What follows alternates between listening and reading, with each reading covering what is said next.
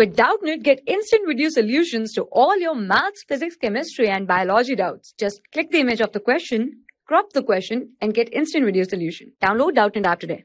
Hello everyone, let me explain this question to you. The two thigh bones, each of cross-section area 10 cm square, support the upper part of human body of mass 40 kg. Estimate the average pressure sustained by the femurs. Okay, so here g, a small g is given 10 meter per second square. So we know that pressure is equals to force upon area and mass is 40 kg. So force exerted is equals to 40 g m into g. So this is equals to 400 Newton and total area total area is equals to each area of each bone is 10 centimeter square and there are two thigh bones so total area is 20 centimeter square so 20 into 10 to the power minus 4 meter square.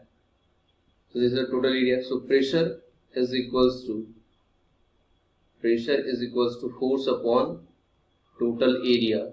So force is 400 newton upon total area is 20 into 10 to the power minus 4 so this is equals to 20 into 10 to the power plus 4 Pascal.